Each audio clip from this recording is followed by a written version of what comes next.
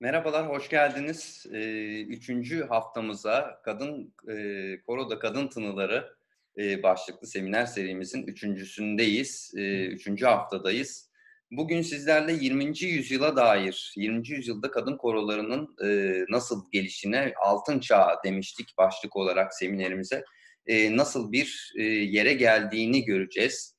E, biliyorsunuz ilk iki seminerimizde başlangıcından e, önce 18. yüzyıla, ikinci seminerimizde de romantik dönemi konuşmuştuk. E, romantik dönem e, kadın korolarının bir atılım yaptığı, kadın koroları için eser yazılmaya başlanan e, bir yüzyıldı. E, romantizm özellikle 19. yüzyılda e, romantik bestecilerin e, Alman romantizminin etkisiyle e, Schumann gibi, Schubert gibi, Brahms gibi e, besteciler müziklerinde kadın korolarını e, kullanmaya başlamıştı. E, yıllar ilerledikçe e, romantizmin geç aşamalarında Liszt'in Dante senfonisinde, e, Mahler'in e, üçüncü senfonisinde e, kadın korosu ve çocuk korosunu bir arada kullandığını görmüştük. Yani senfonik müzikte bu sefer e, kadın korolarının yer aldığına şahit olmuştuk. Şimdi 20. yüzyıldan bahsedeceğimiz zaman müzikte e, genel olarak bir e, şeyle başlamak gerekiyor. Çünkü biliyorsunuz 20. yüzyıl müzikte büyük dönüşümlerin olduğu, müzik adına e, modernizmin başladığı bir e, dönem. Peki bu modernizm dediğimiz şey e, neyle başlıyor dediğiniz zaman başa dönmemiz gerekirse aslında bu iş e, romantizmin ortasında başlıyor. Yani Wagner'le başlıyor. Wagner'in müziğindeki kromatizm bizi yavaş yavaş e, 20. yüzyılın başındaki devrimlere e, götürüyor bizi. Ve bunun e, ilerleyiş biçimi olarak baktığınızda işte Wagner'in kullandığı e, form form açısından belli formlar, e, kromatizm çok önemli burada demin de bahsettiğim. Yavaş yavaş yavaş bu Mahler'le beraber artık e, bir post romantik e, ve e, modernizme geçiş süreci bestecileriyle birlikte e, 20. yüzyılın başında iki adet e, devrim olduğunu söylüyor Erik Salzman. E, müzik tarihi, 20. yüzyılın müzik tarihi kitabında. E, buradan e, bu iki farklı yaklaşımın neler olduğunu söyleyerek başlayalım. Biri bir yandan e, Fransız besteci e, Claude Debussy'nin getirdiği yenilikler var müziğe. Nedir bu yenilikler? E, müzikte yüzyıllarca yasak olan vokal müzikte e, paralel beşlilerin ve paralel sekizlerin yani beşli aralıkların ve sekizli aralıkların paralel olarak devam eden aynı iki partide devam etmesi yasaktı yüzyıllardır. Debussy bunu eserlerinde bir anda kullanmaya başlıyor. Orkestrada yeni bir renk arayışı geliyor. Bir anı özgürce o anı e, bestelemek, mesela bir denizin dalgasını bestelemek gibi e, karşımıza e, önce resim sanatında çıkan empresyonizm akımı çıkıyor böylece Debussy ile beraber. Diğer yandan baktığınızda bu Wagner'le başlayan kromatizmin e, Alman besteci Arnold Schönberg'in geç romantik stiliyle başladığı bestecilik yolculuğunda yani bu Wagner ve Mahler gibi bestecilerin geliştirdiği kromatizmden bahsediyoruz. E, bu yaklaşımlardan yola çıkarak seslerin özgürleştirmesi, e, özgürleşmesi olarak adlandırdığı 12 ton tekniğini icat etmesi ve bunun neredeyse e, 1960'lı yıllardaki postmodernist akımlara kadar e, tüm klasik müzik camiasında ve tüm akademilerde mutlak e, geçerliliğini koruyacak olan serializme evrilmesi olarak iki başlık görüyoruz. Yani biri Schönberg'in e, 12 tonu ve serializme gidecek olan yol, bir tanesi de Debussy'nin kurduğu bu yeni e, empresyonizm e, dediğimiz akım. Peki burada kadın korosu için e, ne var diye başlayacak olursak e, Debussy ile başlıyoruz. E, Fransız besteci Claude Debussy e, 1862-1918 yılları arasında e, yaşıyor. Paris Konservatuvarı'nda piyano eğitimi görüyor. E, besteciliğe yöneliyor fakat yeni dil arayışı konservatuvardaki hocaları tarafından pek hoş karşılanmıyor. E, koro müziği adına önemli iki eserinden bahsedersek e, bunlardan bir tanesi soprano solist, e, iki sesli çocuk korusu ve iki sesli kadın korusu ve orkestra için bestelediği e, La Damoiselle Elue e, kantat. Bu bir kantat e, ve beş perdelik bir oyun müziği olan e, Le Martyr de Saint Sebastian eserini sayabiliyoruz. E, Akapella koro eseri olarak baktığımızda Debussy'nin e, çok fazla eseri yok. Trois Chansons diye bildiğimiz üç tane e, arka arkaya bestelediği aynı opus numarası altında üç tane karma koro eseri olduğunu biliyoruz. E, empresyonizmin e, tam bir karşılığı Debussy e, tablolardan, şeylerden gördüğümüz e, gibi. E, şimdi orkestra için e, 1897-99 seneleri arasında bestelediği Nocturnler başlığını taşıyan üç bölümlük orkestral eserinde e, sözlerin anlatmaya çalıştığı ışığı ve farklı izlenimleri aktarmaya çalıştığını ifade ediyor. Eserin besteleniş sürecinden bahsederken bahsedersek e, Debussy Nocturnler başlığıyla empresyonist e, bir resimler serisi üreten Amerikalı empresyonist ressam James McNeill Whistler'ın tabloları üzerinden yola çıkıyor ve bir mektubunda e, tek bir renkle elde edilebilecek farklı kombinasyonlarda deney yapmak istiyorum. Tıpkı gri tonlarda bir resimde olduğu gibi diyor. İşte bu gördüğünüz tablo bunun tam bir e, örneği. Yani buna bakıyor ve e, bunu seslerle anlatmak, orkestrayla anlatmak ya da bir koroyla anlatmak istiyor. Ve e, öncelikle bu eseri keman ve orkestra için kurguladığını biliyoruz. Üç bölümlük bu eser. Daha sonra e, keman biraz fazla önde olduğunu düşünerek kemanın sadece orkestra için yazmaya karar veriyor. Ve yayıncısına bir itirafında bunu bestelemek beş perdelik bir operadan bile zor oldu diyor. Burada da kendi 1902 yılında premieri yapılan kendi operasından e, Pelias ve e, Melisand'dan e, bahsediyor aslında. İşte bütün bunlar Debussy'nin müzikteki yeni yol arayışlarının simgeleri olarak karşımıza çıkıyor. Yeni bir ses dünyası arıyor. Müzikal ifadeyi ses renkleri temelinde kurgulamaya çalışıyor. Ve işte bu bestecilik anlayışının en önemli örneklerinden biri çıkıyor karşımıza. E, eserin el yazmasını e, burada görüyorsunuz.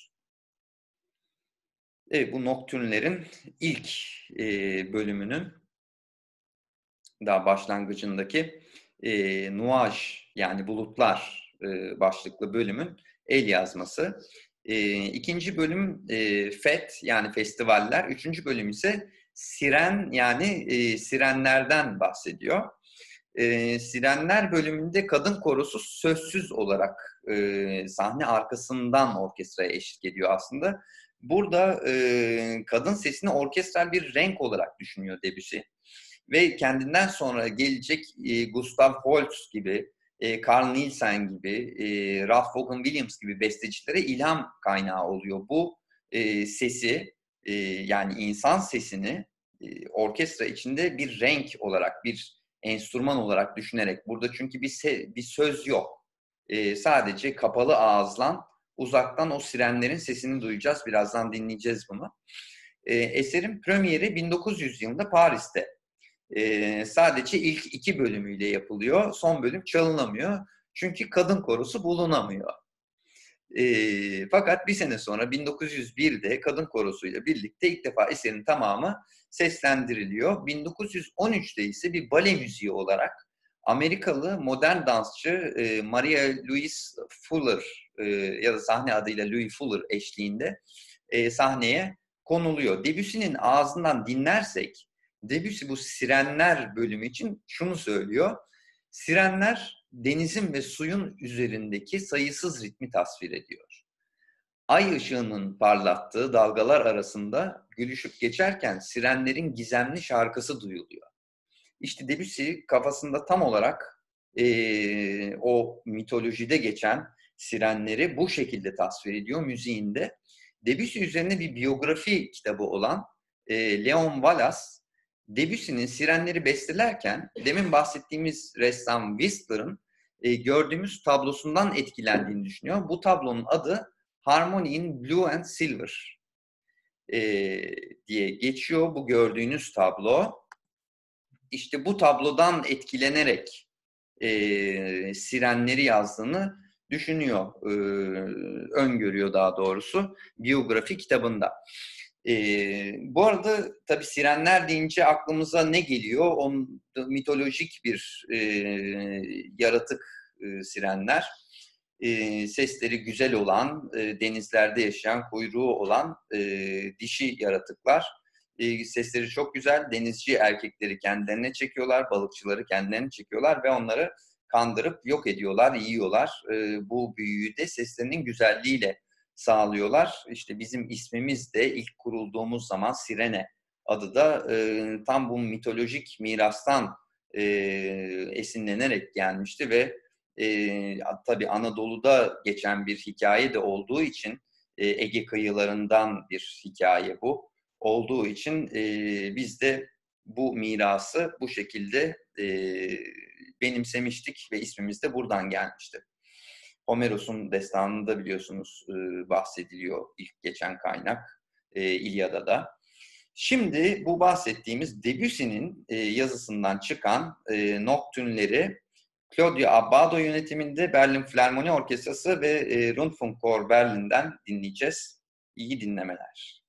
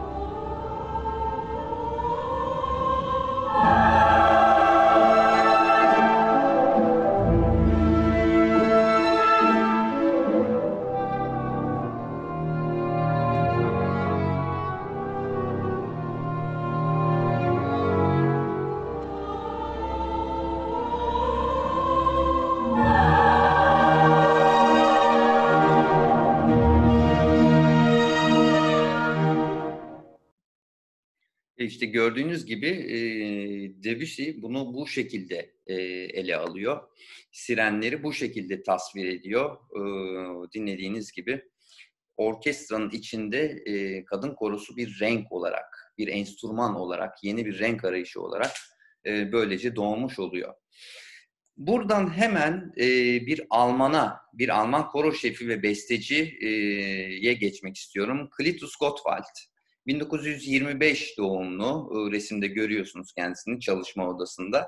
E, koro şefi, besteci ve müzikolog e, Klitus Gottwald klasik eserlerden koroya uyarladığı düzenlemeleriyle ağırlıklı olarak tanınan bir besteci. Bu bestecilerden biri ise Debussy. Debussy'nin 1891 yılında piyano ve soprano için bestelediği Les Angelus yani Çanlar eserini altı sesli kadın korosu için yeniden düzenliyor. Akapella eşliksiz olarak. E, ve e, şiir bu sembolist şair Gregoire Leroy'a ait. E, şunu diyor şiir. Bugün acım hükmeder. Tüm sabahlar hükümsüz.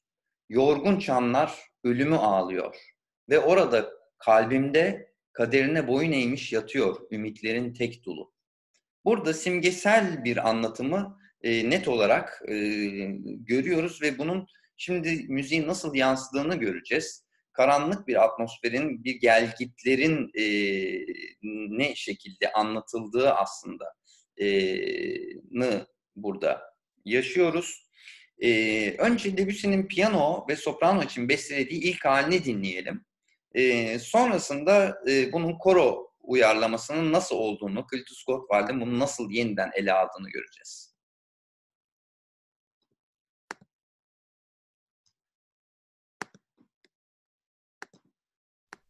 Cloche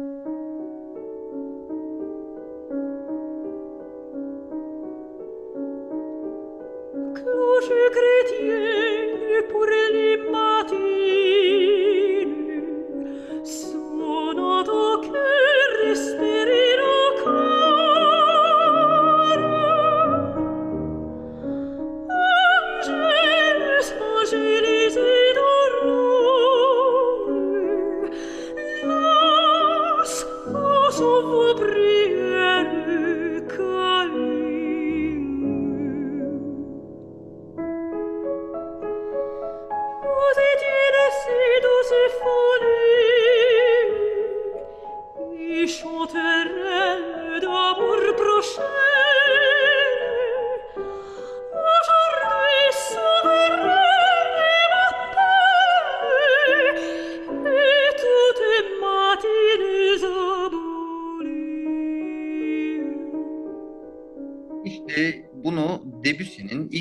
aldığı şekil bu şekilde. Fakat e, bundan yıllar sonra e, yani 1980'lerde olduğunu e, zannediyorum. Yanlış hatırlıyor olabilirim.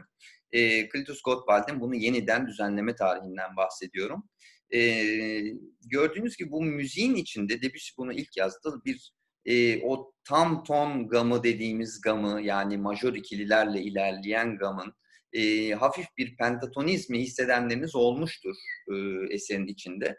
Şimdi Gottwald'in düzenlemesinde melodinin e, nasıl eşlikten türediği bir yapıya evirdiğini göreceğiz bunu. Yani piyano eşliğinde e, bir sopranonun söylediği melodi bambaşka bir şekilde karşımıza çıkacak şimdi. Bu arada e, Angelus, e, Angelü biliyorsunuz, e, Angelus Latince'de melek demek. Ama ayrıca İsa'nın vücuda gelmesiyle alakalı günde üç kez okunan e, dua ve bu duayı bildiren çan seslerine de bu isim veriyor. İşte bu simgesel anlatımda e, Angelus burada e, bu çanları e, anlatmak için karşımıza çıkan bir kelime ve eserin de e, adı aynı zamanda. Şimdi e, Gottwald'in düzenlemesi, Debussy düzenlemesi Les Angelus altı sesli kadın korosu için Sirene'den dinliyoruz.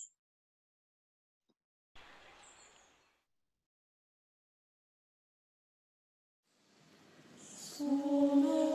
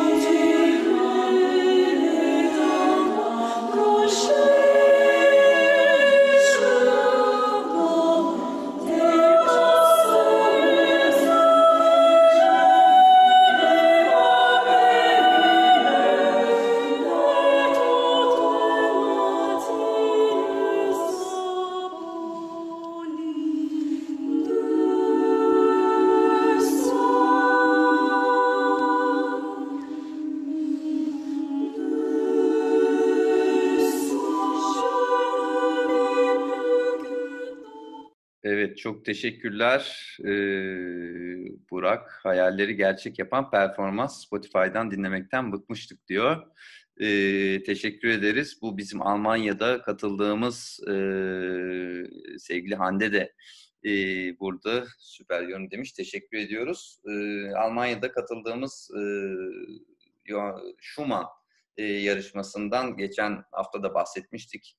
E, o Schumann yarışmasında sergilediğimiz performanslardan bir tanesiydi bu. E, gerçekten 20. yüzyıldaki önemli akapella kadın e, düzenlemelerinden bir tanesi bu.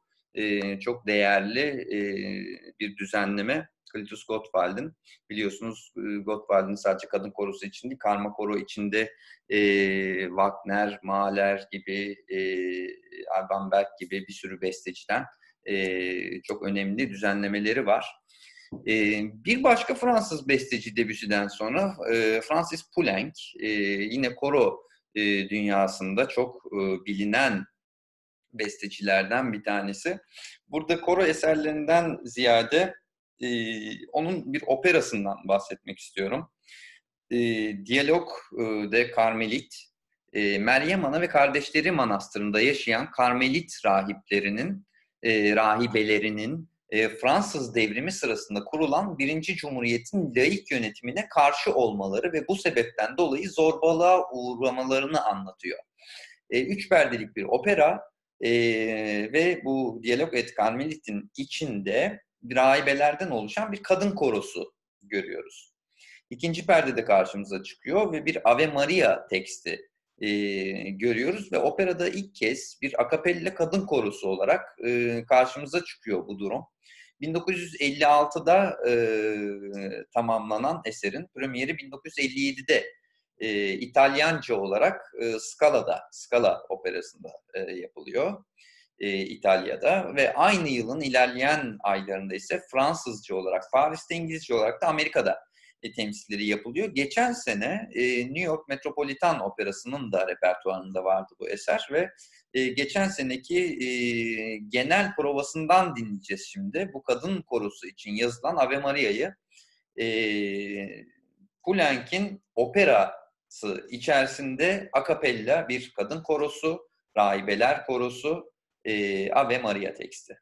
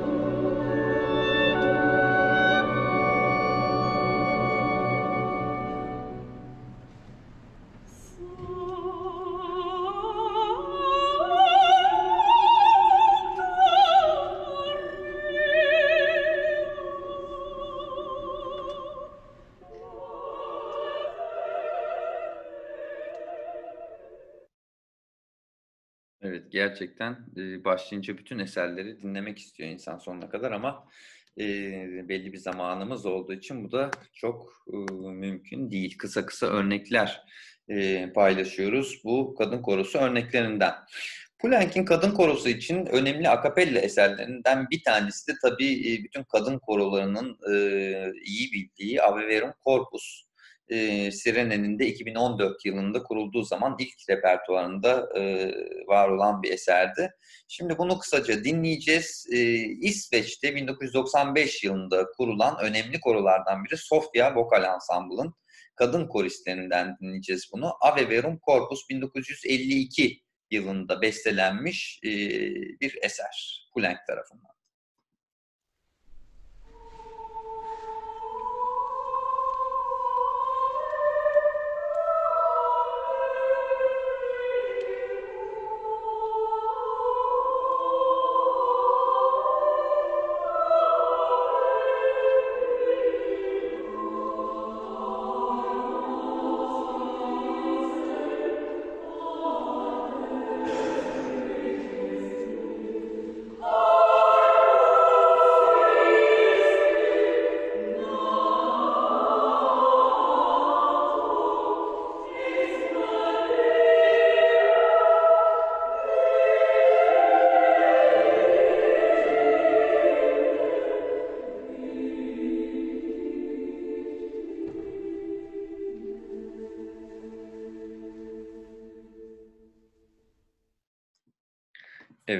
Eserin en e, problematik olan yeri o Ex Maria kısmı. E, iki kere geliyor eser boyunca.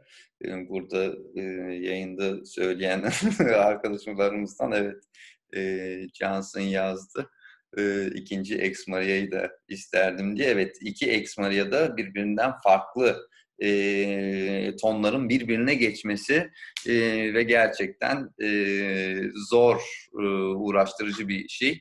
E, söyleyenler bunu e, çok iyi hatırlayacaktır. E, Poulenc deyince ve Kadın Korosu deyince 1936 yılında yazdığı bir albüm daha var Poulenc'in e, Petit Voix diye e, Küçük Sesler adında. E, tabii Fransız coğrafyasında e, kadın korosu için yazmış diğer bestecilere baktığımızda e, Albert Russell'ı görüyoruz. 1869-1937 yılları arasında yaşamış resmini görüyorsunuz. Gabriel Fauré'yi e, görüyoruz. 1845-1924 yılları arasında yaşamış birçok moteti var. E, dini metinlerle kadın koroları besteliyor. Tantum Ergo'su var, Ave Maria'sı var. E, Vincent Dindy'yi görüyoruz. E, 1851-1931 yılları arasında e, yaşamış. E, Le Bouquet de e, Printemps e, diye bir eser, Printemps diye bir eseri var. E, burada e, Dindy'nin tabii Ahmet Adnan Saygun'un Türk beşlerinden e, hocası olduğunu da, e, Skola Kantorum'daki hocalarından biri olduğunu da burada e, tekrar hatırlayalım. İsviçreli besteci e, Frank Martin'in e, 1931 yılında kadın korusu ve cello için yazdığı şansonları e, şansonlar başlıklı bir e, eseri olduğunu biliyoruz. E, ve buradan e, başka bir coğrafya, başka bir besteciye daha doğrusu coğrafya demek yanlış olur. 20. yüzyıla belki damgasını vuran başka bir besteci Rus Igor Stravinsky'den bahsetmeden tabii geçmek olmaz. 1882-1971 yılları arasında yaşıyor Stravinsky. Rusya'da doğuyor. Annesi ve babası opera sanatçısı. St. Petersburg'da e, hukuk eğitimi alıyor ve konservatuara gitmiyor ama e, Nikolay Rimsky-Korsakov'la e, kompozisyon çalışıyor, bestecilik çalışıyor. E, biliyorsunuz Rimsky-Korsakov müthiş bir besteci. Özellikle orkestrasyon alanında bugünkü modern orkestrasyonun e, kurucu babası e, kabul ediliyor. E, enstrümanların e, hatta orkestrasyon üstünde çok ciddi e, önemli bir kitabı vardır. E, bir şey orkestra için e, eser yazanlar çok iyi e, bilir bunu e, konservatuarlarda okutulan kitaplardan bir tanesi. E, işte bu Nikolay Rimsky-Korsakov'un öğrencisi e, Stravinsky. 1906 yılında kuzeniyle evleniyor ve iki çocukları oluyor. Birinci Dünya Savaşı'nda İsviçre'ye yerleşiyor. E, Stravinsky deyince aklımıza gelen bir kavram var. Neoklasizm. E, neoklasizm baktığımız zaman Birinci Dünya Savaşı İkinci Dünya Savaşı arasındaki dönemde e, ki en e, gözde müzik akımı e, denebilir. Biliyorsunuz 1900'lerden itibaren artık e, ya hatta 1900'lerden başlayarak 1950 sonrasından iyice azalarak e, eskisi gibi yani bir 50 yıl boyunca bir 100 yıl boyunca bir akım göremiyoruz. Artık e, neredeyse iki buçuk üç senede bir yeni akımlar e, çıkmaya başlıyor. Bu da işte modernizmin, müzikteki modernizmin bir getirisi.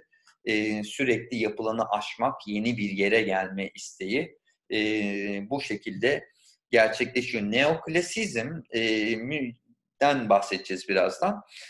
Stravinsky'nin bir dönemi bu. E, ilk dönem müziklerinde müzikte ritmik yapıların çok ön plana çıkması, işte e, genel olarak barok bestecilerden e, etkilenme, klasik formlara bağlı kalma bu neoklasizm ve yerel müzik unsurlarından faydalanma gibi e, birçok e, unsurun farklı zamanlarda bestecilik hayatında yeri olduğunu biliyoruz Stravinsky'nin. Savaştan sonra ailesiyle birlikte Fransa'ya yerleşiyor ve e, 20 yıl değişik kentlerde yaşıyor Fransa'nın değişik kentlerinde. Rusya'daki mülklerini yitirdiği için ek gelir sağlamak amacıyla besteciliğinin yanı sıra e, piyanistlik ve orkestra şefliği de yapmaya başlıyor.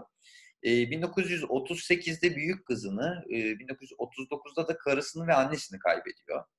İkinci Dünya Savaşı başlayınca Harvard Üniversitesi'nden gelen çağrıyı kabul ederek konferanslar vermek üzere e, Amerika'ya gidiyor ve 1946'da da Amerikan vatandaşlığına geçiyor. E, 1962 yılında bir konser dizisi için Rusya'ya geri dönüyor ve o zaman e, Sovyetler Birliği'nin başında e, Khrushchev var. E, ve Sovyetler Birliği'ne dönmesi için onu ikna etmeye çalışıyor ama bunu kabul etmiyor, sıcak bakmıyor ve e, tekrar Amerika'ya dönüyor. E, Kaliforniya'da yaşıyor normalde. New York'a taşınıyor 66'dan itibaren, 1966'dan itibaren sağlık sıkıntıları yaşamaya başlıyor ve 71'de New York'ta hayata gözlerini yumuyor Stravinsky. İlk döneminde çok önemli üç eseri var. Ateş Kuşu, Petruşka ve Bahar Ayini. Bunlar bale müzikleri ve e, çok avantgard müzikler. E, döneminin çok ilerisinde müzikler. Hatta bugün bile dönüp baktığımızda aslında e, bazı arkadaşlarımızla konuşurken bunun hala avantgardlığını koruduğunu e, söyleyen arkadaşlarımız e, ol, olmuştu bir sohbetimiz esnasında. Hiç unutmadığım bir e, anekdot bu.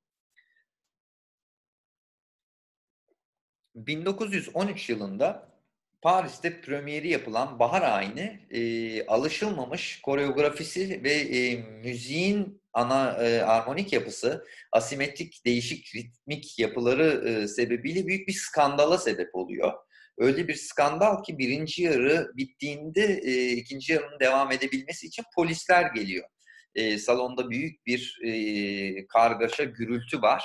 E, tabii domatesler, yumurtalar havalarda uçuşuyor sahneye e, baş dansçı o zaman Rus e, Vaslav Nijinsky. E, bilirsiniz Yapı Kredi'den e, anıları yayınlanmıştı Vaslav Nijinsky'nin. E, 28-29 yaşlarında akıl hastanesine kapatılıyor o da. O e, bu temsil esnasında e, arkadan durup işte 1, 2, 3, 4 diye ölçüleri sayıyor dansçılara. İnsanlar bunu bundan hiç hoşlanmıyor. Neden hoşlanmıyor? Çünkü şimdiye kadar alışla gelmiş bale hep işte bildiğimiz bale kıyafetleri giyilip o, o figürlerin yapıldığı işte ince, zarif, işte soylu falan filan kavramlarla anlatılan bir şeyken bu bahar ayininde bir ayin anlatılıyor, bir pagan ayini anlatılıyor. YouTube'da bunun görürsünüz mutlaka kaydını çok iyi bir e, koreografın e, düzenlemesiyle, şimdi hatırlayamıyorum adını, e, mutlaka izleyin iki bölüm halinde. E, bu Bahar Ayini bir devrim müzik tarihinde. Burada e, işte bu karikatürü görüyorsunuz. Görüyor musunuz? Burada e, evet bu bu şekilde karikatürleştirilmiş bu e, olay ve e, müziğindeki dramatik e, ifadesi zengin orkestrasyonu ve Rus halk müziğinden alınmış tanıdık melodileri sayesinde aslında halk tarafından da büyük beğeni topluyor sonradan. E, 1923'ten sonra Stravinsky'nin neoklasik eserleri ortaya çıkmaya başlıyor ve bu dönemdeki çalışmalar son romantik dönemin yoğun duygusallığına kasıtlı bir tepki olarak sanatsal bir tarafsızlık e, barındırma mottosuyla aslında bu neoklasizmi görüyoruz. Bu ideali e, Stravinsky 1935 yılında yazdığı anılarında şu şekilde açıklıyor. Müzik doğal olarak herhangi bir şeyi ifade etme gücüne sahip değildir ve performansçılar kendi fikir ve bireysel ifadelerini eklemeden bestecinin eğilimlerini takip etmelidir, diyor Stravinsky. İşte tam da neoklasik döneminin sonunda kadın korosu için tek eseri olan kantatını besteliyor. Soprano, tenor, solo, e, kadın korosu ve enstrüman olarak flüt, oboa, korangle ve cello'yu seçiyor. E, 7 bölümden oluşuyor bu kantat. Burada hemen e, bir e, geçen e, seminerimizde anlattığımız bir şeyi tekrar hatırlatmak istiyorum dini müzik yazılacağı zaman, yazıldığı zaman e, bu müziğin nasıl olacağına dair Vatikan'dan dönem dönem e, belli hükümler çıkıyordu. E, 1903 yılında e, Papa 10. Pius'un e, motu proprio dediğimiz e, bu hükmü çıkıyor ve 20. yüzyılda dini müzik nasıl yazılmalıdır? tarif ediyor. Nasıl yazılmalıdır? Diyor ki Palestrina'nın kullandığı e, polifoniyle yazılması gerekiyor ve e, enstrüman kullanılmamalı ama eğer kullanılıyorsa tahta nefeslilerden e, yararlanılabilir. E, diyor ve burada işte Stravinsky'nin e, bunu e, bu şekilde kullandığını görüyoruz. Yani buna tabii şunu demek mümkün müdür? Stravinsky e, kilise bunu böyle istediği için bu şekilde yazıyor. Ama mutlaka e, haberi vardır. Vicdanen bunu bu şekilde kullanmak istemiş olabilir. E, buradan e, bu sırada tabii Amerika'da yaşıyor Stravinsky. Bir sene önce e, operası Rex Progress'i yazmış e, ve yeni bir İngilizce metin bestelemek istiyor. E, Rex Progress'in e, librettosunu yazan arkadaşı kendisine bir Noel armağanı olarak bir e, şiir kitabı veriyor. 15. ve 16. yüzyıl şiirlerinden oluşan bir antoloji bu. Ve kadın korosunun söylediği bölümlerde e, ruhun Araf'taki yolculuğunu anlatmaya çalışıyor. Yani ölümden sonra e, işte cennete cehenneme giderken ki o ara yoldaki ruhun macerasını anlatıyor. E, yaklaşık yarım saatlik bir eser bu. E, ve e, bu e, metnin aslında baktığınızda İskoçya'da e, ölüm cenazelerde cenazenin arkasından söylenen bir ağıt olduğunu da e, biliyoruz. E, hatta bunu farklı popüler müziklerde de e, aynı metin bestelenmiş. 1960'larda 70'lerde görüyoruz bunu. E, şimdi bunu Stravinsky'nin e, nasıl e, bestelediğine bakacağız. Sirene'nin de önümüzdeki sezon repertuarında olacak e, bir eser bu. Kadın Korusu bölümlerinden ilkini dinleyeceğiz şimdi. E, tekrar bunun neoklasik müzik dilini e, yansıttığını hatırlatalım ve neoklasizm nedir? E, işte bu eserle Kadın Korusu'na dair dinleyelim.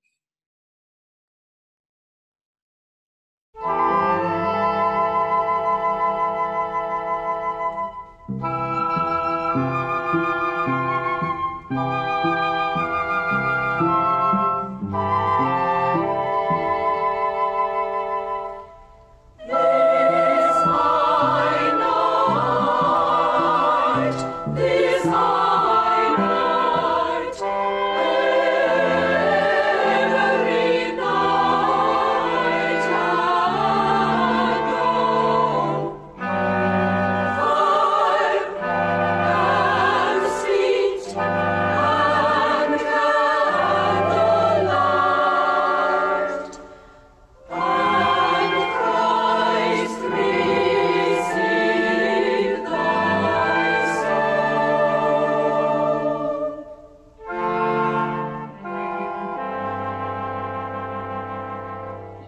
Gördüğünüz şekilde e, dört ayrı sözle, dört ayrı e, bölüm şeklinde karşımıza çıkıyor. Ara, ara bölümlerde de tenor ve e, soprano soloları e, duyuyoruz. Buradan e, İngiliz coğrafyasına geçtiğimiz zaman e, Benjamin Britten'ın e, besteci, çok e, çocuk korosu için eserleri olduğunu e, biliyoruz. Orkestral eserlerin içinde de yer aldığını biliyoruz. E, Edward Elgar'ın e, Snow e, piyano, iki keman ve kadın korosu için bir eseri olduğunu biliyoruz. Gustav Holst'un e, Gezegenler Suite'inde e, yine Debussy'den e, miras aldığı e, sözsüz kadın korosu kullanımını, e, kadın korosunu orkestral bir renk olarak kullandığını görüyoruz. E, ve Macaristan'a geliyoruz. Macaristan dediğimizde e, önemli bir e, eşit ses için e, koro müziğinden bahsedeceğiz şimdi. E, burada tabii e, Macar besteci deyince aklımıza ilk list geliyor e, romantik dönemden ve bir sonraki 20. yüzyılın belki en önemli bestecilerinden bir tanesi olarak e, bilinen e, besteci e, Bela Bartok. E, 1881-1945 yılları arasında yaşıyor. Bartok enstrüman alanında çok önemli işler, çok önemli besteler, besteleri var. fakat burada daha hayati önem taşıyan şey modern etnomüzikolojinin kurucusu Bartok. bu alanda folklor alanında çok ciddi araştırmaları var. Türkü toplamaları, bütün coğrafyaları gezdiğini biliyoruz. 1899-1903 yılları arasında Budapeşte'deki Kraliyet Müzik Akademisi'nde Liszt'in öğrencisi Istvan Toman'la piyano çalıştığını biliyoruz. İlk dönem müziklerinde Strauss gibi, Debussy gibi bestecilerden etkileniyor. O dönemde dönemdaşları tabii ve büyük eserlerinde de Brahms gibi, Strauss gibi yani formlarında bu bestecilere bağlı kaldığını görüyoruz, gözlemliyoruz. Folklor ilgisi ilk piyano eserlerinde e, ortaya çıkıyor. Küçük piyano eserleriyle başlıyor ve devam eden bir e, hal alıyor. Burada e, Macaristan'ın tabii o dönemki e, durumundan biraz bahsetmek lazım. E, Belakun e, hükümdar e, sol bir devrimle e, başa geliyor ve Bartok da onu destekleyenlerden birisi. Fakat sonra Almanlar Macaristan'a girerek bu devrimi yok ediyor ve tutuklamalar başlıyor. Bartok da tutuklananlar arasında. Arkadaşı e, Koday onu kurtarıyor. E, Bartok e, karakter olarak çok içten bir adam. 1918-1924 yılları arasında yazdığı The Miracles Mandarin isminde bir bale müziği var. Pantomimle birleştirdiği. Yani muhteşem mandarin. Burada bir Çinli Çinli bir mandarin bir fahişeyle ilişkiye girecek. Fakat fahişenin mafya dostları var. Ve fahişeyle ilişkiye giren kişileri öldürüp paralarını alıyor bu mafya ve burada mafya geliyor, adamı ilişki sırasında bıçaklıyor, silahla vuruyor. Fakat Mandarin işini bitirmeden ölmüyor bir türlü. E, işte Bartok'un karakterini de yansıtan bir müzik bu. Müziklerinde bu e, kafasına koyduğunu yapan e, ve bu yüzden de e, başı beladan kurtulmayan bir karakter görüyoruz. E, bu eserin premieri de Köln'de yapılıyor ve ahlaki değerleri sarstığı gerekçesiyle de yasaklanıyor e, ilk yapıldığında. Burada arkadaşı Koday ile olan ilişkisinden biraz e, bahsetmek istiyorum. Biz genellikle e, işte Koday metodu olarak bildiğimiz e, Zoltan Koday besteci e, aynı dönemler yaşamış Bartok'la. Koro müziğinde büyük e, Bartok'la beraber büyük eğitim müziğinde özellikle e, büyük faydaları olmuş. iki besteci olarak tanıyoruz ama e, şimdi etnomüzikolog Ahmet Yürür'ün e, 1996 yılında e, burada düzenlenen, İstanbul'da düzenlenen bir Bele Bartok panelinden e, yayınlanmış bir bildirisinden bu ilişkilerini anlat, anlatan bir metin. E, ufakça okumak istiyorum size. E, Koday-Bartok ilişkisine isterseniz bir paragraf açıp biraz daha değineyim.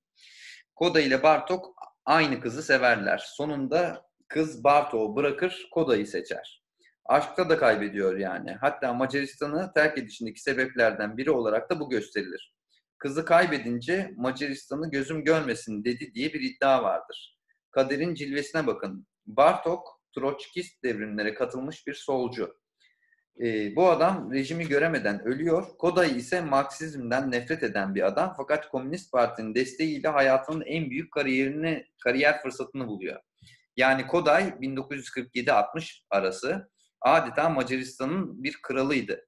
Çok büyük yetkileri vardı ve bu yetkiler ona temelden karşı olduğu bir siyasi rejim tarafından verilmişti. Bunlar hep tarihin akıl almaz, e, akıl ermez cilveleri demiş e, Ahmet Yürür. Bu da işin sosyal bir boyutu olarak e, bir renk oluyor.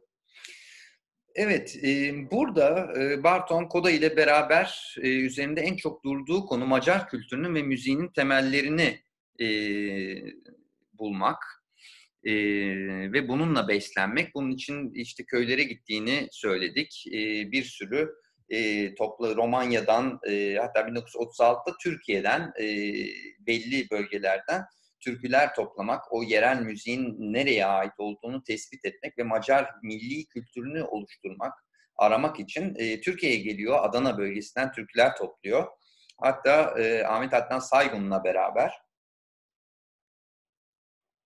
şimdi resimde görüyorsunuz e, fotoğrafta e, bayağı Anadolu'da gezinip e, türkü topladığını ve işte bu türkülerden beslenerek bir süre sonra bütün müziklerini devam ettirdiğini göreceğiz. E, bunun içinde pentatonik yani beş sesli dizi e, do, re, mi, sol, la ya da işte la, do, re, mi, sol minöründen bakarsak e, bu pentatonik yapıların aslında halk müziğinin temeli olduğundan e, yola çıkacaklar. Basit ritmik yapılarla bunları toplayacaklar ve e, eğitimde de demin bahsettiğimiz çok e, kullanılacak ve yaygınlaşacak bu.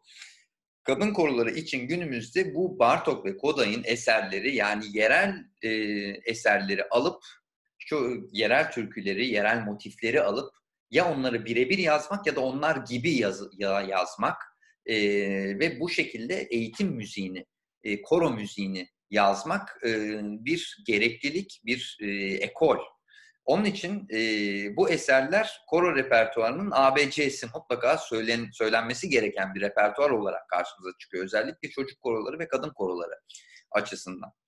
Macaristan'da tabii bugüne baktığımızda bugün herkes eline yani müzisyen olmayan insanlar da eline aldığı zaman dört sesli herhangi bir şeyi sözleriyle söyleyebiliyor. Bunu e, Macaristan'a gittiğim zamanlarda farklı meslek gruplarından arkadaşlarımda görüp e, deneyimlediğim şey bu da kendi eğitim sistemlerinden e, gelen bir gelenek bu şekilde e, bu kadar kolay e, adapte olmaları, bu kadar rahat söyleyebilmeleri. Zoltan Koday'dan biraz bahsedelim. 1882-1967 yılları arasında yaşıyor Koday. Üç tane operası var. Oda müzikleri, koro müziği, e, orkestral müzikleri var. E, eşit ses için yine çok sayıda eseri var. Eğitimde kullanılan çok sayıda koro eseri görüyoruz ve bunlarda hep halk şarkılarının yoğun olduğunu ve bu temaların demin de bahsettiğimiz o halk temalarının işlendiğini e, görüyoruz. Koday metodu dediğimiz çocukluktan itibaren müzik öğrenim sistemlerinden en e, önemlilerinden bir tanesi de e, Zoltan Koday'a ait. İşte yine e, en meşhur eserlerinden bir tanesi Macar halk ezgisi vaktiyle sözleri Türkçe'ye de çevrilmiş olan e, Trot Esigasigani e, Avustralya'nın en önemli çocuk korolarından bir tanesi Gondwana Voices'tan e, dinleyeceğiz. 10 ila 17 yaş aralığında oluşan çocuk korosu bu. E, Şef Mark O'Leary yönetiminde dinliyoruz. Trot Esigasigani. Evet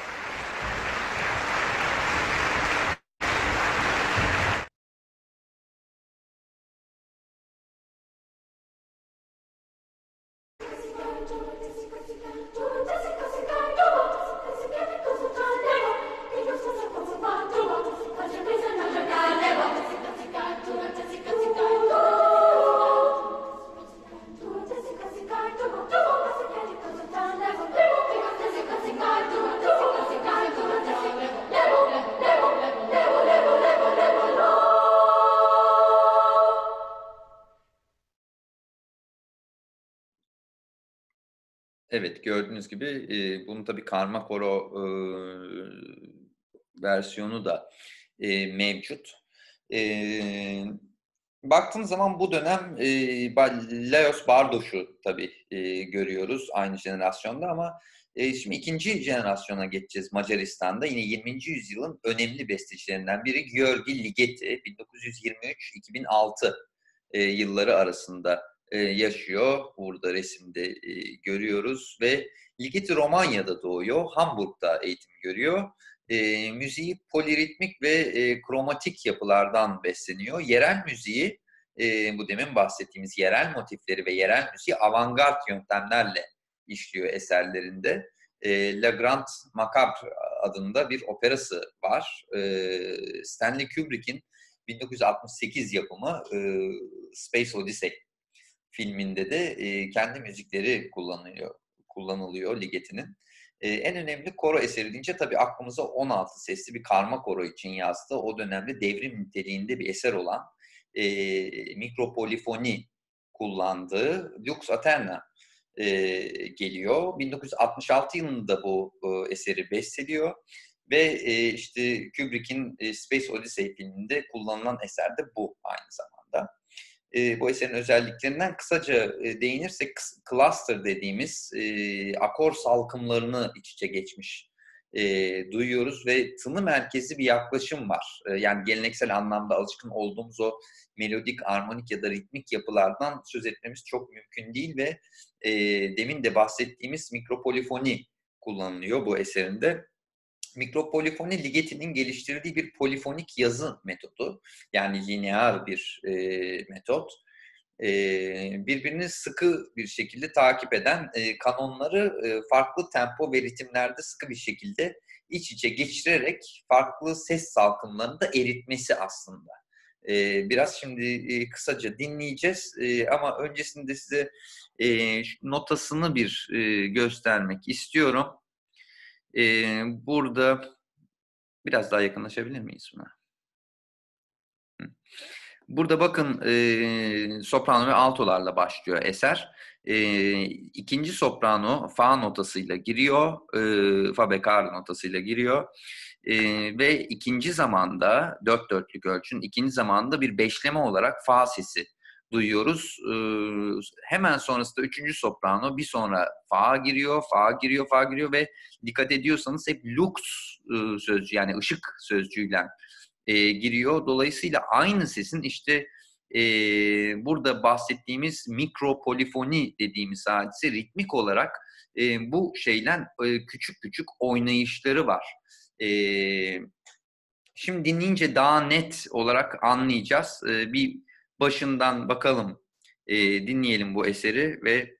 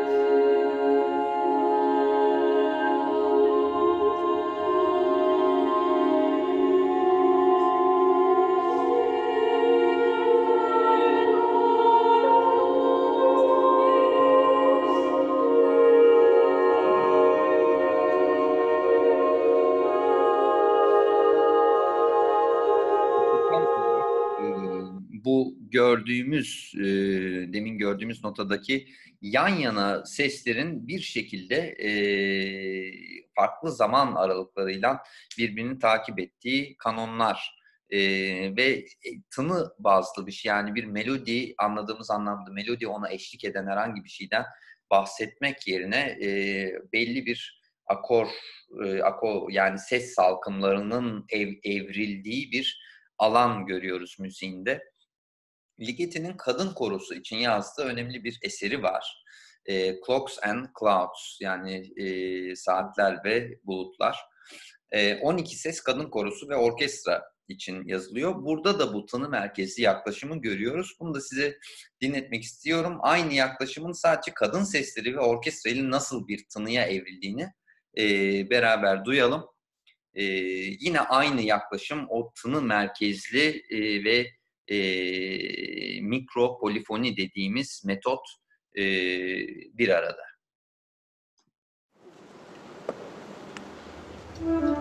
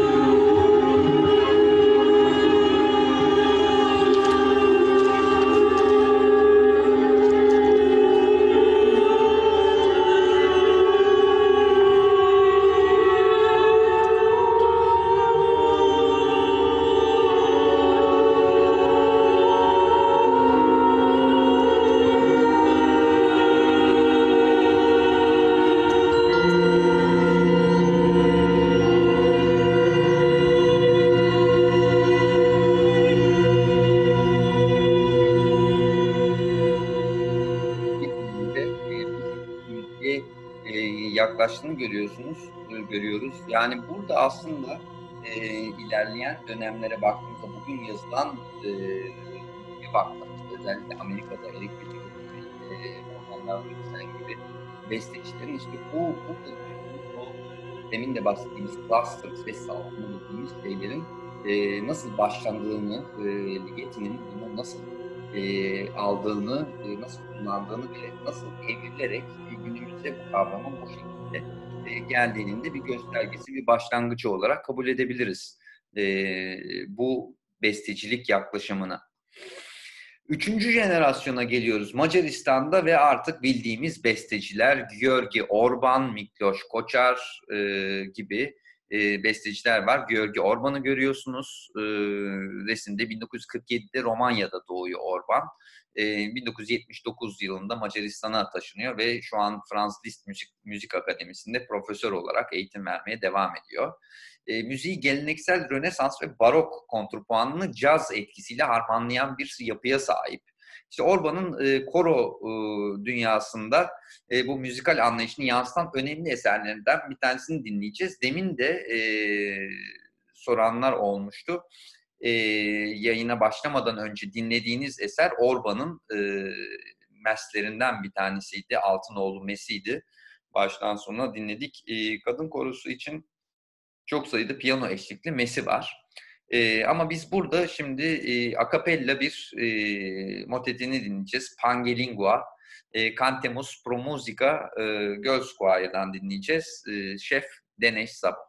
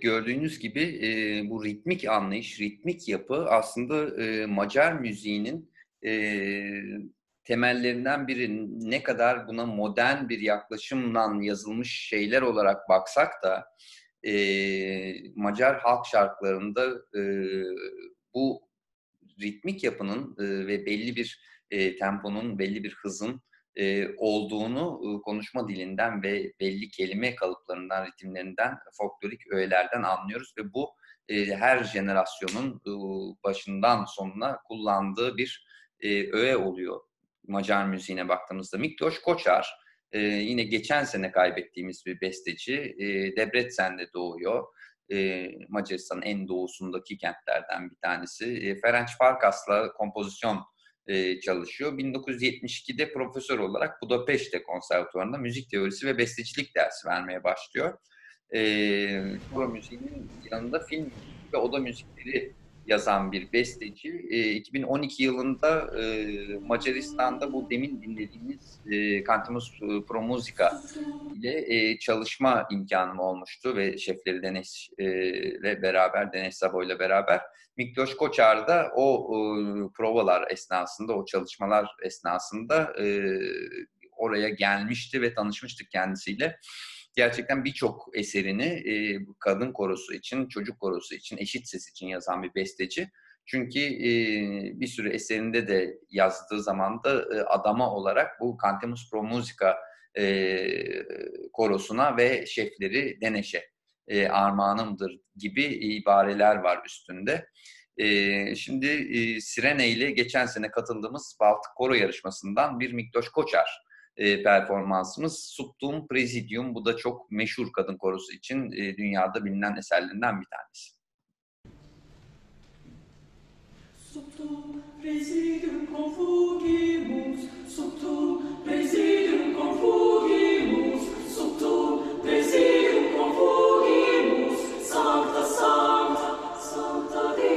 Evet,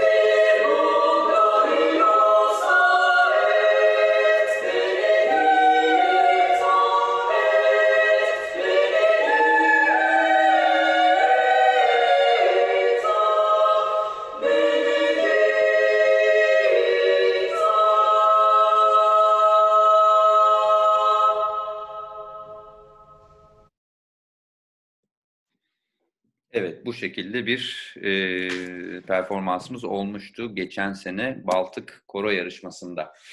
E, bugün yaşayan bestecilerden biri e, Macar Göngöşi Levente, e, yine Fransız Liszt Müzik Akademisi'nde e, demin dinlediğimiz e, Görgi Orban'ın kompozisyon öğrencisi.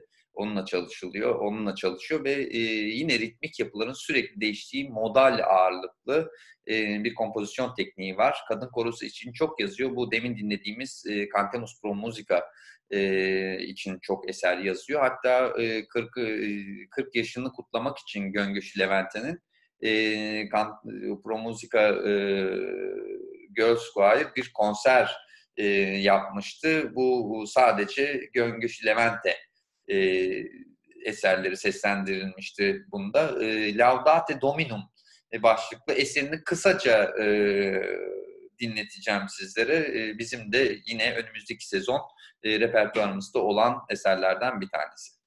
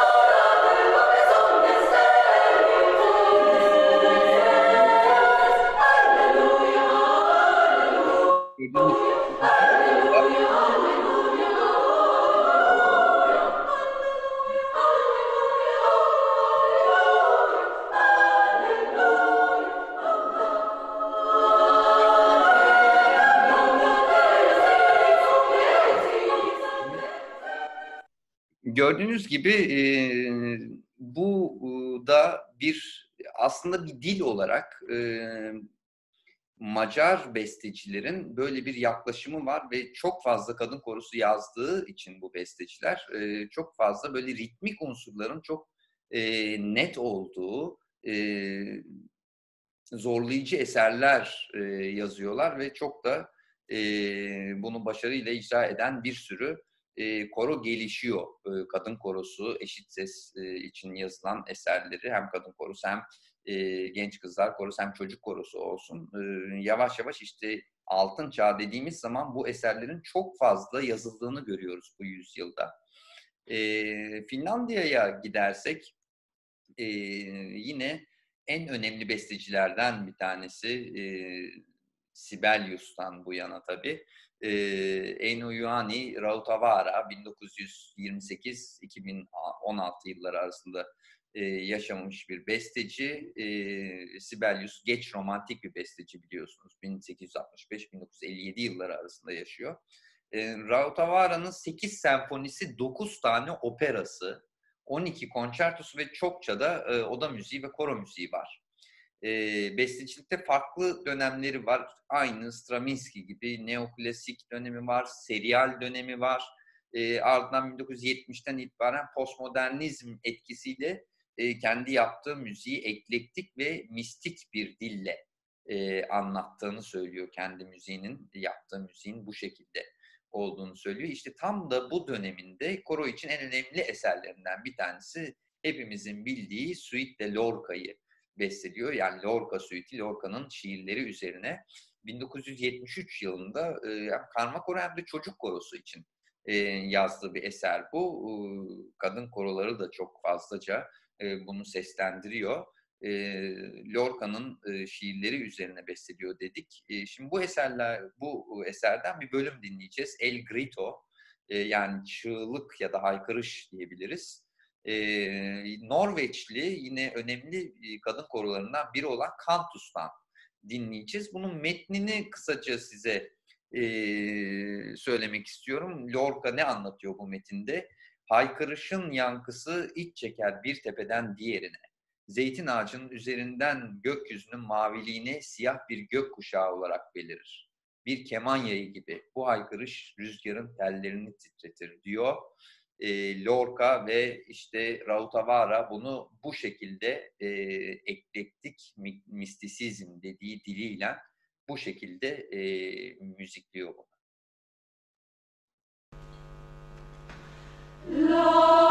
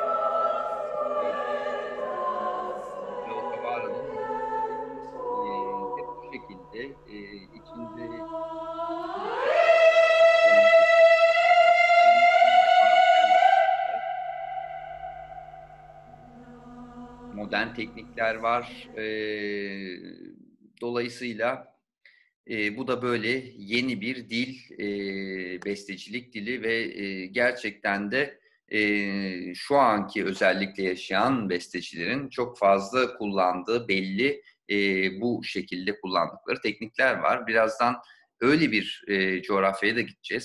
Slovenya'ya gideceğiz birazdan ama öncesinde bir başka e, besteciye geçmek istiyorum. Yine Finlandiya'dan Jaakko Mantjärvi 1963 doğumlu besteci ve profesyonel çevirmen, e, dil bilimci. E, eklektik, gelenekselci olarak tanımlıyor müzik dilini. e, işte bunun koro müziği açısından tam bir örneği. Bu eklektik kelimesi geçti mi müzik demek ki e, postmodernizm, e, postmodernist etki taşıyor demek. Yani müzikal olarak eklektik, eklektisizmden bahsediyorsak eğer e, bunun tam karşılığı postmodernizm gelmiştir demek. Çünkü müzikte postmodernizmin gelmesi demek e, modern anlayışlar dediğimiz zaman hep birbirini aşarak gelen, birbirinden öncekini e, tamamlayıp sürdürmeye yönelik. Burada e, şunu e, şu karşımıza çıkıyor. E, burada şu karşımıza çıkıyor. Genel olarak e, gelenekle bir arada olmak. Yani eski geleneksel müziği, eski tonal müziği, eski modal müziği almak e, ve onu yeni müzik diliyle birleştirerek bir arada kullanmak. İşte postmodernizmin getirdiği şey bu. Bize onun için işte tam bunun eklektik dediğimiz zaman bestelerde bunu anlamamız gerekiyor. Şimdi işte bu örneklerden bir tanesi Pseudo Yoik isimli eser. E, 1994 yılında besteliyor e, bunu. Yoik bu eşit ses kadın korosu için en bilindik eserlerinden bir tanesi. Karma koro için de tabii e, yazıyor bunu. Aynı eseri. E, Yoik demek Kuzey kültüründe o bölgenin en eski halkları olan Sami toplumunda e, bir çeşit geleneksel şarkı söyleme biçimi. Söyle, söyleyene de bunu e, Yoikaya deniyor Fince'de. Şimdi orijinal bir Yoik dinleyelim. E, Yoik nedir onu bir anlayalım. Sonra Mentiervi'nin bundan etkilenerek nasıl bunu e, o eklektisizm içinde yazmış onu dinleyelim mesela. Önce bir Yoik örneği. Oh,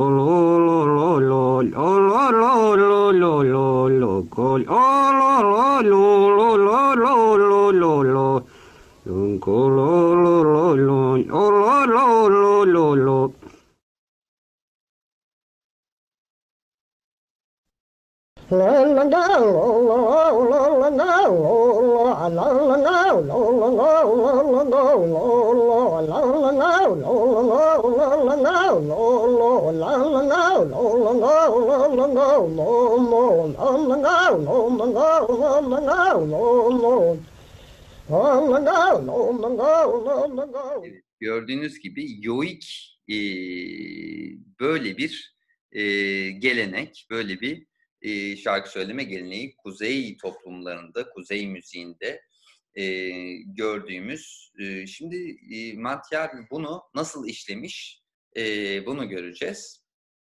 İşte yoikimsi, yoik gibi manasına gelen pseudo yoik eserini dinliyoruz şimdi.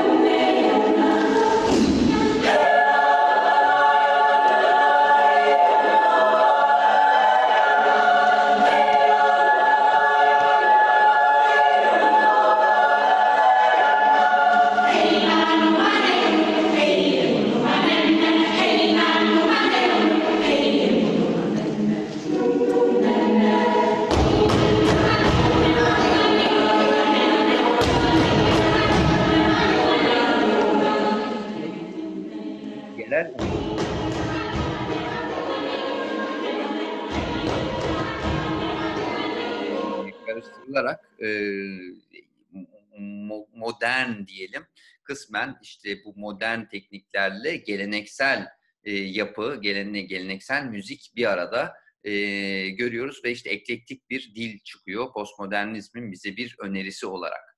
Slovenya demiştik demin. E, Slovenya'da e, yine koro kültürü çok gelişmiş bir ülke olarak karşımıza çıkıyor. Bugün yaşayan çok önemli iki besteci var ki bunlar kadın korosu için de besteleyen besteciler. Biri Ambros Chopi, e, diğeri ise e, Lojze Lebic. Lojze Lebic'in resmini görüyorsunuz şu anda. 1934 doğumlu e, Slovenya'nın en önemli koro müziği bestecilerinden bir tanesi. 1957'de e, Ljubljana Sanat Fakültesi'nde arkeoloji ve 1972 yılında Ljubljana Müzik Akademisi'nde yine kompozisyon ve şeflik e, çalışmalarını tamamlıyor. Slovenya'nın en önemli çağdaş bestecilerinden biri olarak kabul ediliyor. Sade e, koro alanında değil birçok e, orkestral alanda da eserleri var. E, çağdaş kompozisyon e, üzerinde yani modernist dilde çok e, fazla eser yazmış. E, hatta müziği bazı çevreler tarafından, bazı müzik eleştirmenleri tarafından tam olarak şu şekilde e, çağrılıyor, şu şekilde tanımlanıyor. Çağdaş kompozisyon özlemleriyle yoğun ve eleştirel bir şekilde yüzleştikten sonra sonik güç ve duygusal kısıtlama, kozmopolit modernite ve geçmiş kültürlerin ve medeniyetlerin mirasına karşı kendi hassasiyeti arasında parçalanan kişisel bir dil geliştirdi. Gördüğünüz gibi e, uzun bir cümle ama iyice bir özet bu müziğinin e, nasıl olduğunu e, modernist bir yapıya sahip. Şimdi hemen e, daha fazla konuşmadan müziğine geçelim.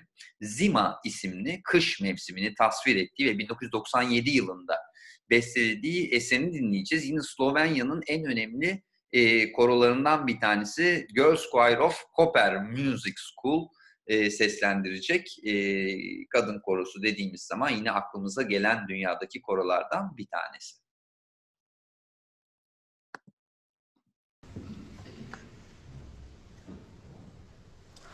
Minasa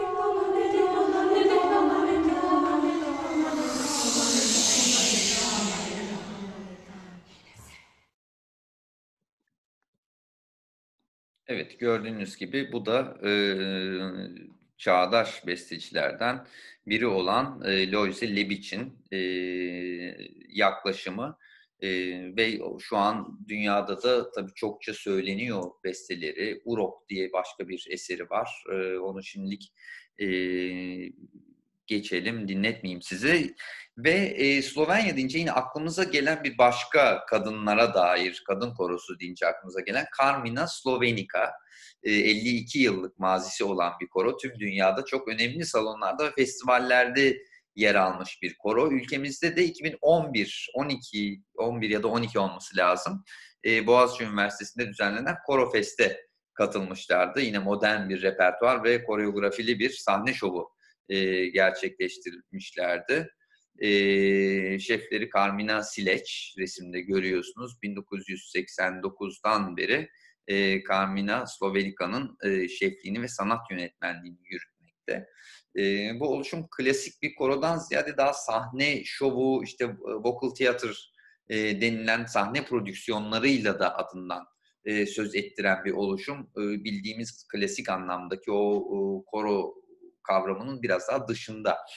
E, şimdi size bu projelerden bir tanesi e, Carmina Slovenica'nın e, bir örnek dinletmek istiyorum. Toxic Psalms e, diye bir proje yani zehirli mezmurlar e, geçmişin ve bugünün farklı ruhsal dünyaları arasında değişen e, sahnelerden oluşuyor. Bu e, 7-8 sahnelik bir e, eser. E, bugün e, modern dünyada acı çeken ruhu anlatmaya çalışıyor. İşte bu projenin yazarı ve şefi de Carmina Sileç. İçindeki müziklere baktığınız zaman e, Palestrina'dan e, demin bahsettiğimiz Sloven besteciler Ambros Chopi, Lojze Lebic gibi bestecilerin de bir sürü e, eserlerinin bir arada bulunduğu 8 bölümlük bir hikaye anlatımı söz konusu. Kısaca e, izleyelim. Toxic Psalms.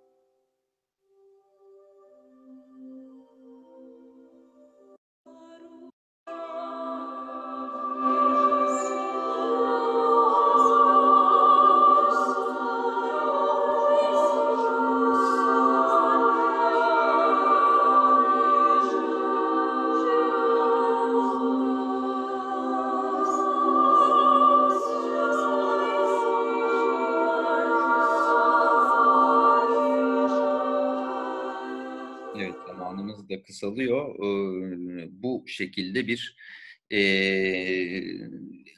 prodüksiyonlar yapan bir e, oluşumdan bahsediyoruz. Carmina Slovenica dediğimiz zaman. Baltık ülkeleri e, bildiğiniz gibi e, koro e, camiasında, Dünya Koro e, arenasında çok e, köklü bir geleneğe sahip, şarkı söyleme geleneğine sahip e, Baltık ülkeleri deyince tabii Estonya, Letonya ve e, Litvanya'yı anlıyoruz. Bu üç ülke. Burada Estonya'nın tabii Dünya Koro geleneğinde çok büyük bir önemi var. Biliyorsunuz 2018'de düzenlenen Europa Cantat e, Festivali de Estonya'nın başkenti Tallinn'de gerçekleşmişti. Şu anda önemli bir karakter olarak karşımıza çıkan Estonya Koro Federasyonu Başkanı e, Raul Talmar var. Yarın rezonans diyaloglarında e, sevgili Burak Onur Erdem'in e, konuğu olacak e, sevgili İlknur e, Erkmen'le beraber. E, 1959 doğumlu Raul Talmar, e, koro şefi, e, Tallinn Üniversitesi'nde ders veriyor ve aynı zamanda Estonian e, Song and Dance Festival Foundation'ın başında e, Estonya Korolar Federasyonu'nda başkanlığını yürütüyor.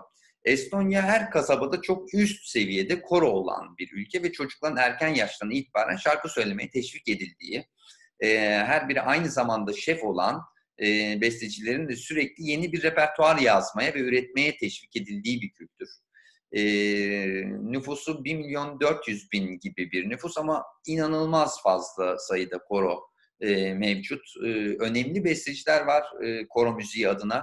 E, Krilius Creek, e, Urmas Sisask, Velio Tormis, Avropert e, gibi koro müziği alanında özellikle e, çok önemli besteciler barındırıyor. E, Song Celebration dediğimiz e, yarın da konuşulacak olan rezonans diyaloglarında ayrıntılı bir şekilde e, bir kut, şarkı kutlama seremonisi var. 1869 yılında Tartu'da e, Tartu şehrinde başlıyor. 878 erkek şarkıcının katılımıyla gerçekleşiyor ilk defa. Ve bu etki, e, bu etkinlik e, yayımcı Johan Voldemar Jansen'in öncülüğüyle Estonya Ulusal Uyanış Hareketi'nin bir parçası olarak başlıyor. Alt sınıflar özellikle e, köylüler kendi kültürlerinin yüksek kültürün bir parçası olduğunu keşfediyorlar bu müzikle, bu koro müziğiyle, yerelliğin e, bu bir aradalığıyla ve e, yayıncı Jansen'in kızı Lydia e, 1843-1886 yılları arasında yaşıyor. E, burada söylenen Estonca iki şarkının da söz yazarı ve bu iki parça hala Song Celebration'ların repertuarında mevcut. Yani 1869'da ilki düzenleniyor ve bugüne bakıyoruz e, ne kadar 131 yıl oluyor değil mi? Yan, yanlış hesap yapıyorsam. 131 yıllık bir gelenekten bahsediyoruz. O zaman e, Lidya'nın aynı zamanda etkinliğe dair notaların hazırlanması ve etkinliğe kaynak sağlamasına dair çalıştığını da çalışmalar yürüttüğünü de biliyoruz. Tabii tüm bunlar o dönemde bir kadının e, yürütmesi çok alışkın olmadık e, görevler. E, bu Song Celebration'daki tüm eserler Estonca ve bu bir dediğimiz gibi e, Estonya Ulusal Uyanış Hareketi'nin bir parçası olarak doğan bir etkinlik. 1933 yılında ilk defa kadın koroları bu etkinliğe katılıyor ve yine e, bu festival ilk defa radyo yayını e, yapmaya başlıyor. Festival radyo yayını olarak veriliyor 1933 yılında. E, 44'te Sovyetler Birliği'nin Estonya'ya girmesiyle 70 bin Estonyalı ülkesinden Batı ülkelerine gidiyor. E, tabii müzisyenler de var gidenler arasında. E, bu Song Celebration'ı Almanya'da, İsveç'te, Amerika'da, Kanada'da, İngiltere'de düzenlemeye devam ediyor. Diasporada yaşayan Estonyalılar.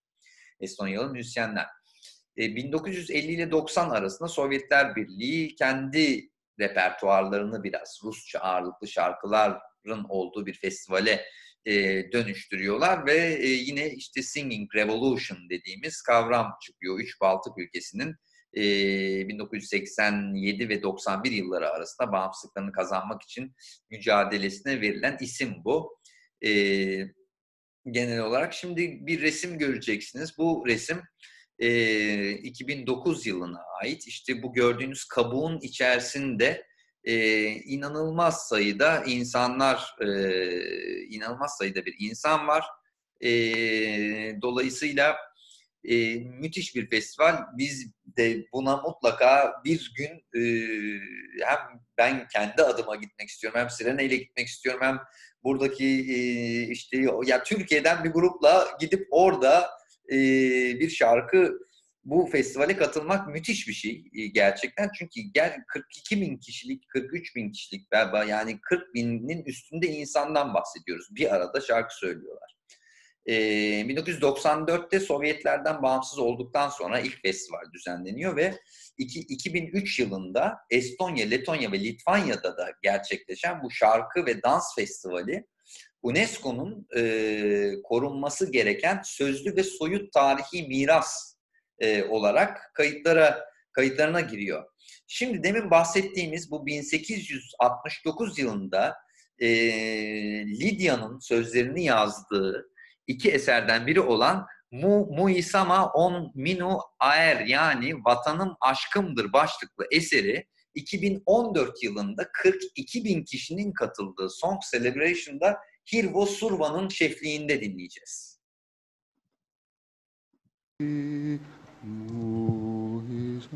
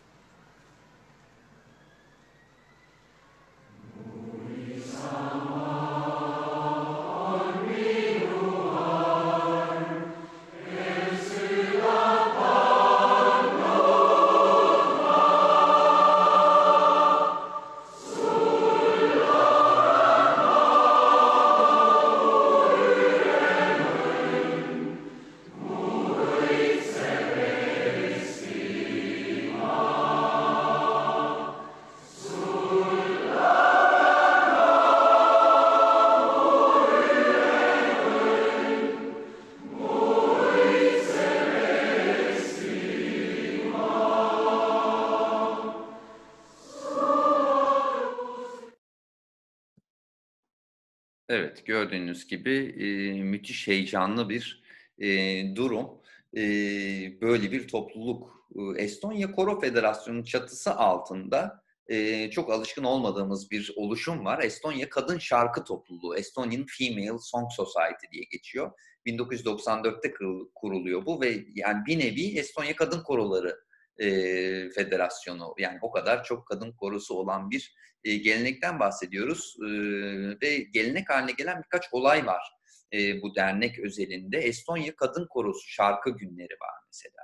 Estonya Kadın ve Kız Korolarının şar yarışma şarkılarını söyledikleri bir etkinlik var. Babalar Günü konseri, Cumhuriyet Yıl Dönümü konserleri ve e, bayramlarda düzenlenen genel konserler var. E, en önemli bazı kadın korolarından bahsetmek gerekirse e, Tartu University Female Choir var. 75 yıllık bir korodan bahsediyoruz. Estonian TV Girls Choir and Children's Choir var. Estonian Academy of Music Female Choir var. E, Ellerine Girls Choir var. E, Estonian Choral Conductors Female Choir var ki e, çok enteresan. Estonyalı kadın koro şeflerinin kurduğu bir koro. E, şimdi demin ilk söylediğimiz e, Tartu, Üniversite, Tartu Üniversitesi e, kadın korosundan e, bir eser dinleyeceğiz. Estonya'nın dünya arenasındaki en meşhur bestecisi yaşayan bir efsane. 1935 doğumlu Avro Pert'ten bahsediyorum. Koro müziği alanında 20. yüzyılın en önemli bestecilerinden biri. Mistik minimalist olarak e, geçiyor müzik dili. E, bu Bununla biliyoruz kendisini ve e, akapella kadın korosu için Avropert'in iki e, eseri var. E, bunlardan bir tanesi Zweibeter e, eserini dinleyeceğiz şimdi. E, bu arada eserin el yazmasını size göstermek istiyorum. Bu eser e, Hannover'de e, premieri yapılıyor. Hannover Girls Choir için e, yazılmış bir eser. Be, e, şefleri e, Gudrun Schöre, e, armağan edilmiş, adanmış. İşte ilk sayfasını görüyorsunuz el yazısıyla Arbert'in. E, üstünde de e, Menchenkor Hannover diye e, Hannover e, Kızlar Korosu'nu e, belirtmiş. Şimdi kısaca bunu e, dinleyeceğiz. Bahsettiğimiz korodan.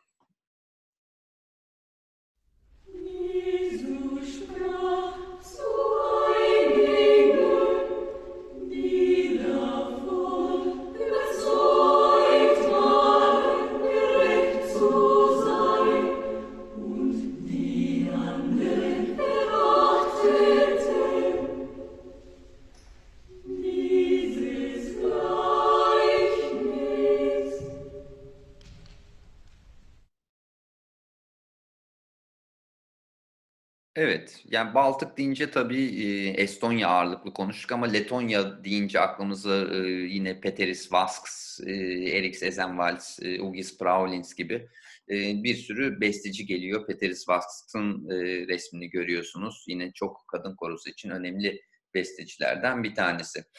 Burada şimdi İkinci Dünya Savaşı sırasında koro müziği adına önemli ve dokunaklı bir olay yaşanıyor. Ondan biraz bahsetmek istiyorum size e, vaktimiz de artık bitti sayılır ama e, kısaca e, bunu anlatmak istiyorum. Endonezya'nın Sumatra adasında ki o zaman Hollanda'nın e, Dutch East Indies şirketinin ticareti elinde tuttuğu koloniler, kolonilerden bir tanesi burası. E, Hollandalı, İngiliz ve Avustralyalıların yaşadığı bu bölgeye Japonya'nın e, adaya saldırmasıyla e, esir alınıyorlar ve kamplara yerleştiriliyorlar. E, aileler birbirinden ayrılıyor. Erkekler bir kampa, kadın ve çocuklar bir kampa yerleştiriliyor ve bu kadın ve çocukların olduğu kamplardaki tutuklular tutuklandıkları ilk günden itibaren bir arada şarkı söyleme geleneğini geliştiriyorlar. 1942'de e, İngiliz esirlerden biri olan misyoner müzik öğretmeni Margaret Dryburgh, e, The Captives Hymn yani esirlerin duası başlığıyla dört sesli akapella kadın korosu için bir eser besteliyor. Sözleri de müziği de kendisine ait ve bu toplu şarkı söyleme etkinliklerinde sürekli söylenen bir eser haline gelmeye başlıyor. Görüyorsunuz bir el yazısı bu. Aslında bu bir sabır ve cesaret duası, umudun ifadesi. Yani son dörtlüğünü söylemek gerekirse Türkçe çevirirsek e, senin çatın altındaki ulusları bağışla, e, tüm dünya kardeş olsun, dünyadaki e, krallığını göster ki acı ile temizlenerek yeniden doğalım e, gibi e, bir sözü var, finali var. Şimdi kısaca bunu dinleyelim e, ve ondan sonra yine birkaç söz söyleyeceğim buna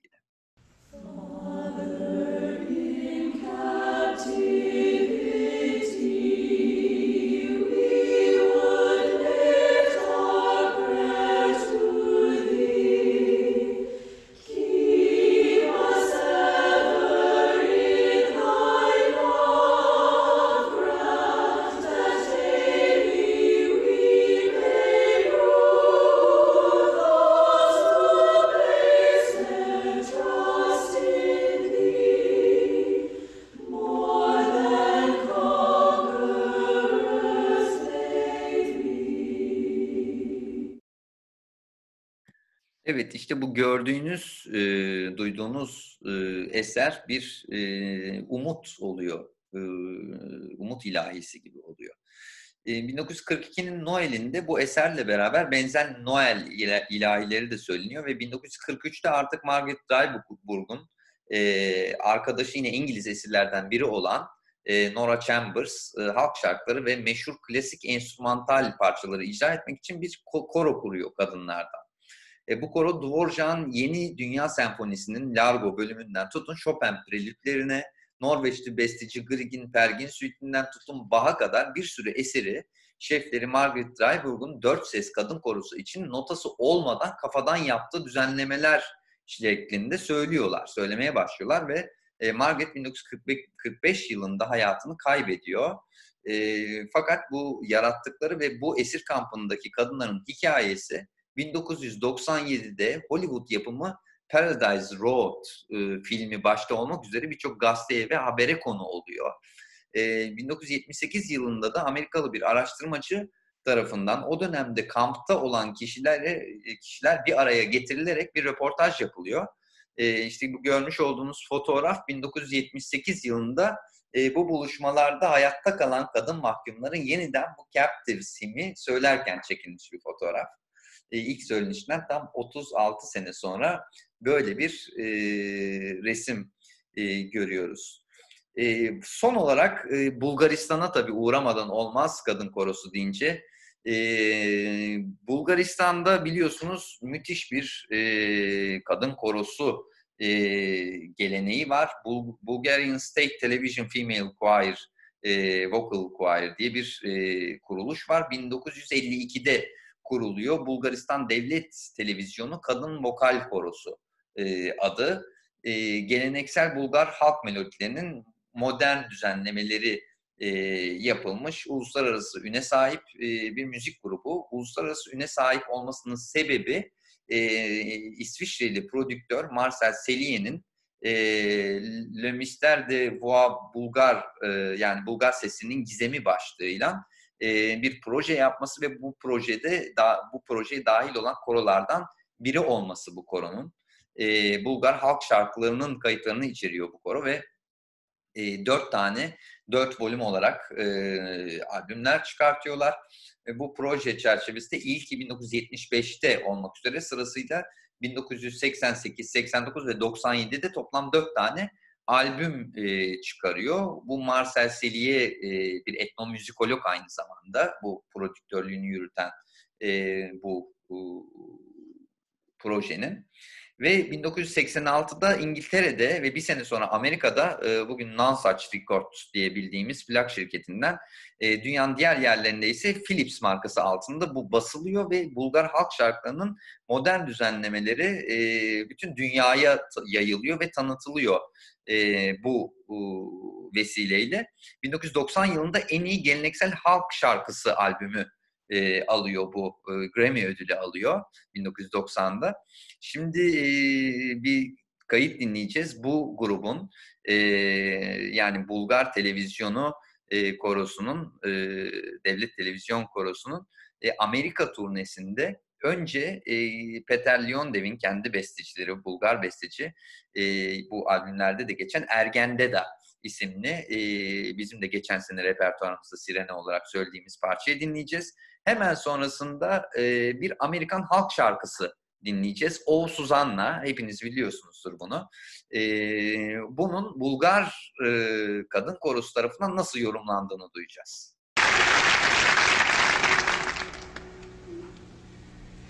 No, no, no.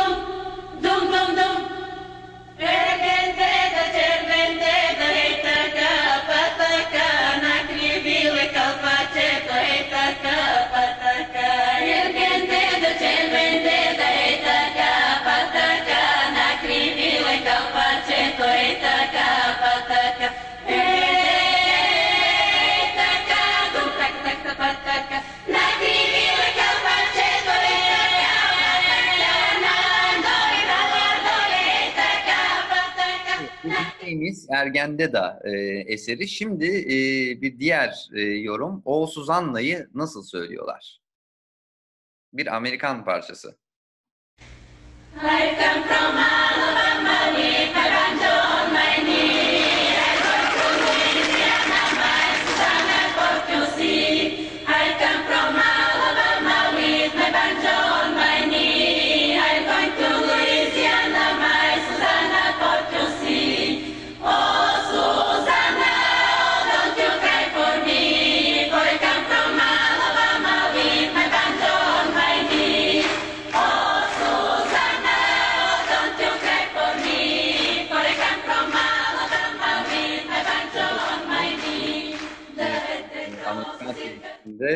böylece e, Bulgaristan'dan gelen bir kadın korosu bu şekilde coşturmuş oluyor o Suzanna'yla.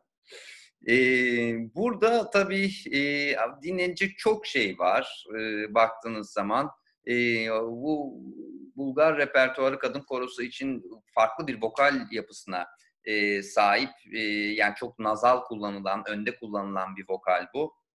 Ve bunu tarif ederken e, Bulgar besteciler ve bunu söyleyen koristler ve koro şefleri e, burada şuna dikkat çekiyorlar. E, doğayı ve hayvan seslerini taklit ettiklerini e, söylüyorlar. Bu şekilde e, bir gelenek var. E, yani kısaca bugüne baktığımız zaman 1990 yılından sonra kadın korolarının hem sayıca hem de nitelik olarak üst düzey performanslar sergilediğini görüyoruz modern eserlerden tutun senfonik müziklere kadar birçok alanda konser salonlarında kadın korolarına rastlamak artık mümkün. E, tabii hala dünyada e, sadece kadın koroları için düzenlenen bir yarışma yok. E, sadece iki sene önce e, Güney Amerika'da başlayan bir kadın koroları festivali ve yarışması olduğunu biliyoruz. E, bundan da bize bir davet yazısı gelmişti. Türkiye'den işte Sirene'yi gördük e, bu gelir misiniz festivalimize diye. O sene başka bir e, programımız, takvimimiz vardı. E, gidememiştik. Bu şekilde haberdar olmuştuk ama dünyada tek başına e, böyle kadın koroları için düzenlenen bir etkinlik e, bildiğimiz kadarıyla yok.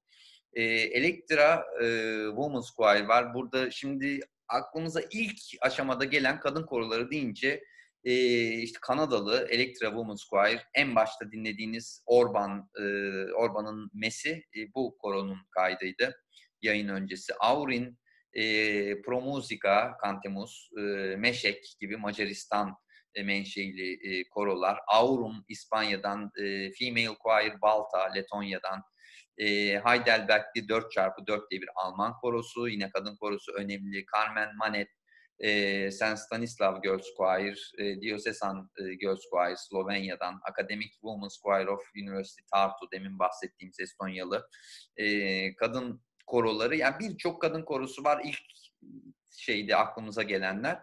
Ee, özellikle yine 2000'lerin başından beri Amerika'da e, kadın koroları ve kadın sesleri için yazılmış eserler hakkında yüksek lisans ve doktora tezlerine rastlamak artık mümkün. Fakat hala tek başına kadın korosu tarihinden bahseden bir kitap bulamıyoruz. E, şu ana kadar yazılmış e, koro tarihi kitaplarında kadın korolarına dair geçen bölümlerinde yüzde yaklaşık yüzdesi yaklaşık olarak yüzde üç. Bunu da e, bu tezlerden birinde e, karşımıza çıkıyor bu da. E, bu da e, hala bu alanda birçok araştırmanın ve yeniliğin yapılabileceğini gösteriyor diyorum ve e, bu üçüncü seminerimizde beraber kadın sesi ve kadın korosu tarihine e, ilk çağlardan günümüze gelmiş oluyoruz. E, gerçekten kısıtlılıklar ve e, mücadeleler içerisinde çok renkli bir yandan da halen gelişmekte ve büyümekte olan bir tarihten bahsettik. E, haftaya programımızda değerli bir konuğumuz olacak. Türkiye'de koro dendiği zaman akla ilk gelen kişilerden biri. Hepimizin bir şekilde hayatında bir yer edinmiş bir kişi, e, bir kadın koro şefi Gökçen Koray'ı ağırlayacağız haftaya. E, çok renkli bir e, programımız olacak. Haftaya kadar sağlıkla ve sanatla kalın diyorum tekrar. Haftaya Gökçen Koray'la hem Bulgar müziğini, hem kadın seslerini hem bir kadın şef olarak neler yaptığını, ne tecrübeler olduğunu ne tecrübeler yaşadığını e, dinleyeceğiz ve sizin sorularınız olursa sorularınızı da e, cevaplamaya çalışacak Gökçen Koray. Bu şekilde e, güzel bir program gerçekleştireceğiz haftaya. E, sağlıkla ve sanatla kalın. E, haftaya görüşmek üzere. Sevgiler. Sireneyim.